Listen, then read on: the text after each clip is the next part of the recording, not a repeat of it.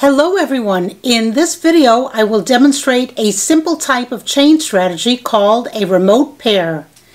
In a previous video, episode 16, I solved a hard level puzzle using this technique and I explained it there, but that's part of a longer video so I figured I should probably make a dedicated lesson on it. So first of all, what is a chain? Well, I like to think of it as a what if scenario. With a chain, we look at possible numbers and make an assumption that is true, and then follow the implications from it being true to see where it leads. If it leads to a contradiction or an impossible result, then the assumption must be false. This helps us to eliminate candidates and usually helps to solve harder level puzzles. So now that brings us to the remote pair, which is the simplest of the various chaining strategies. With remote pair, we are looking for cells that contain a pair of candidates, meaning only two possible candidates in a cell. There is one more characteristic of remote pair, and that is that the chain has to be at least four cells. In this lesson, I'm going to show you five different examples of remote pair the first four examples involve four cells. The last example I'm going to show you has six cells. Make sure you watch that one. It's really interesting to follow the chain on that one. Let's take a look at this first example. There's a 3-4 matching pair here in column 5. These two cells are the only cells in column 5 that are either a 3 or a 4. And then we have another matching pair here in row G. Again, the 3 and the 4 can only be in those two cells. And one more matching pair in block 7. And again, the 3 and the 4 can only go in those cells in block 7. So here we have four cells containing a 3-4 pair, and they are linked one to the other by a chain, as you see with these arrows. Now let's follow the chain making assumptions or inferences. Let's start with the candidate 3 in row B, column 5. Let's make the assumption that it is true.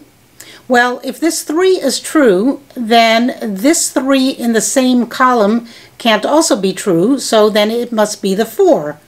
Then this can't be a 4, so it must be the 3 and then this would have to be the 4. You see how they alternate between 3 and 4.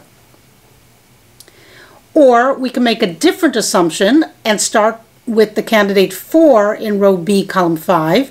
So if this cell is a 4, then this 4 in the same column can't be true, so it must be a 3.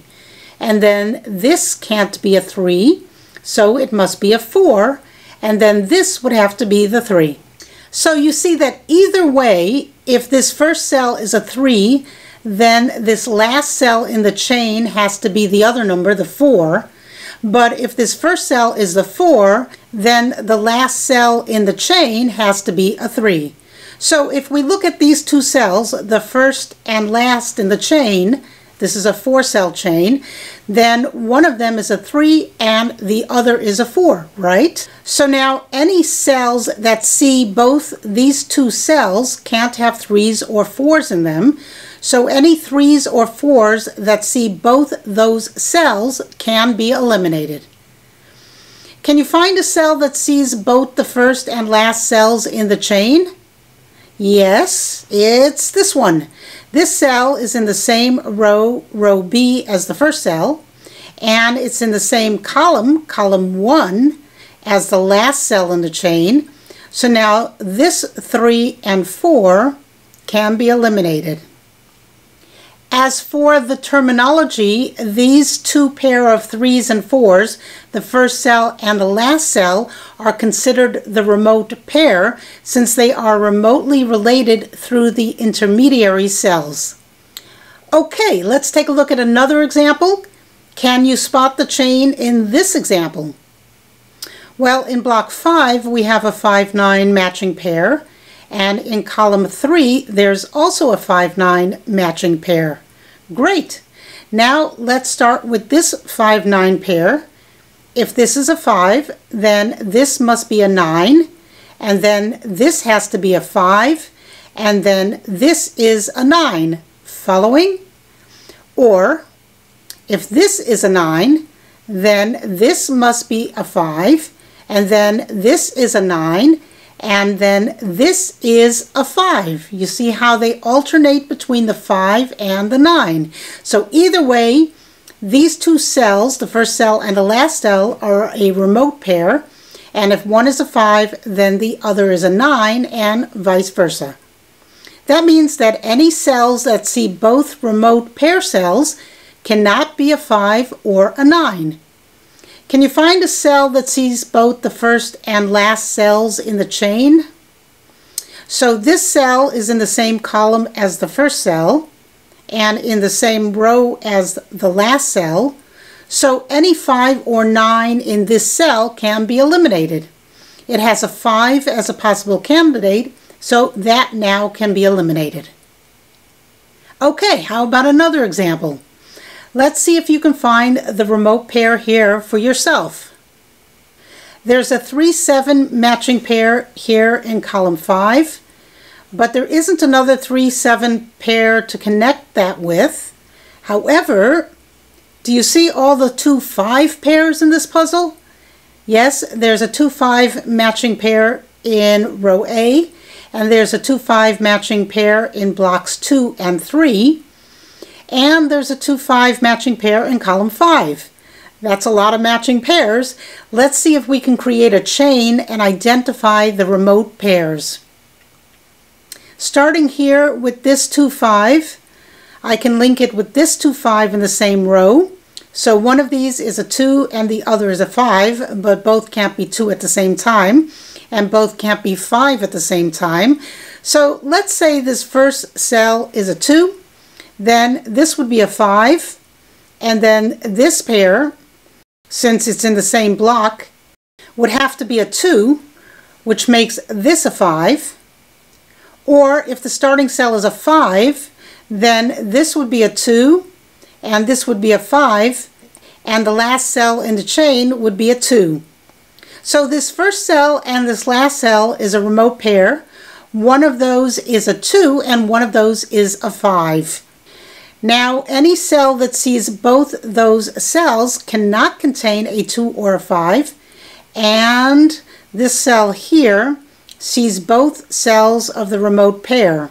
This cell is in the same column as the first cell in the chain, and it's in the same row as the last cell in the chain, so the 2 and 5 candidates in this cell can be eliminated. This chain is sometimes called alternating inference chain, or AIC for short, and that's because we alternate between true and false. If this is true, then this is false, then this is true and this is false. So it's an alternating inference chain. Okay, here's one more example involving four cells, and then I'll show you a more complicated chain involving six cells.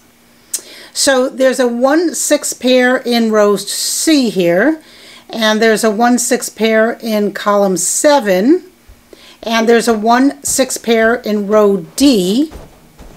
There are some more 1-6 pairs in the grid. For example, there's a 1-6 pair in block 3, and another 1-6 pair in row E, and also in column 8. We can follow those to create a chain, but they won't result in any cells that see each other so that we can eliminate candidates, and that's the whole idea. But if we start the chain with the 1-6 pair in row C, column 5, and end the chain with the 1-6 pair in row D, column 6, then we will find a cell that sees both the first cell and the last cell, and it has candidates that we can eliminate. So let's do this step by step. If this first cell in row C, column 5, is a 1, then this had to be a 6, and then this is a 1, and then this is a 6. Or the other way around, if the first cell is a 6, then the next cell is a 1, and the next is a 6, and the last is a 1. So either way, when we look at this remote pair, one of them is a 1 and the other one is a 6. So now this cell here sees both of these two cells. It's in the same column as the first cell and in the same block as the last cell. So the 1 and the 6 in this cell can be eliminated. Okay, so now that you understand what a remote pair is and how to use it with four cells, let's take a look at a more complicated example. Can you find the remote pair here? I'll give you a hint. It starts with the 5-6 pair here in row A, column 1. Now, there are multiple cells with a 5-6 pair in them, but they don't all help us eliminate candidates, and that's the idea here, to eliminate possible candidates in other cells. So let's follow this 5-6 pair here in column 1.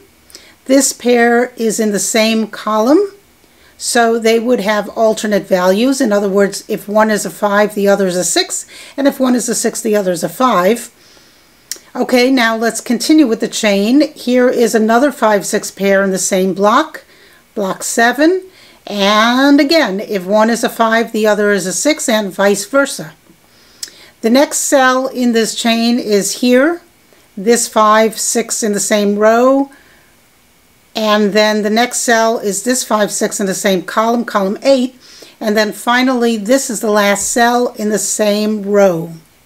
So now we can see this chain has six cells linked together, and the remote pair consists of these two cells. With four cells in a chain, we can simply look at the first and last two cells to eliminate candidates.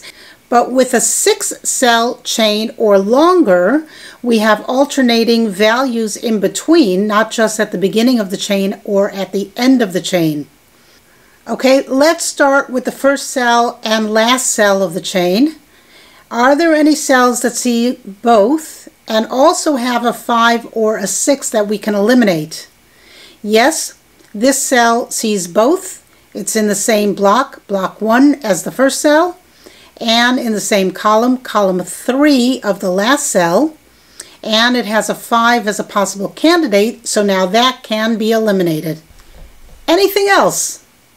Yes, this is a remote pair as well if we started the chain here as a four-cell chain. This would be the first cell, and this would be the last cell. And now this cell sees both.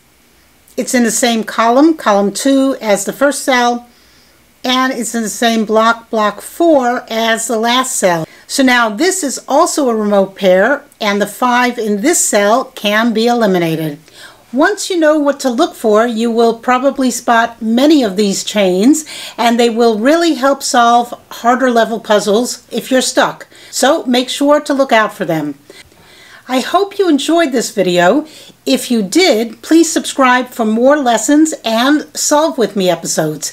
Thanks for watching, and I hope you learned something.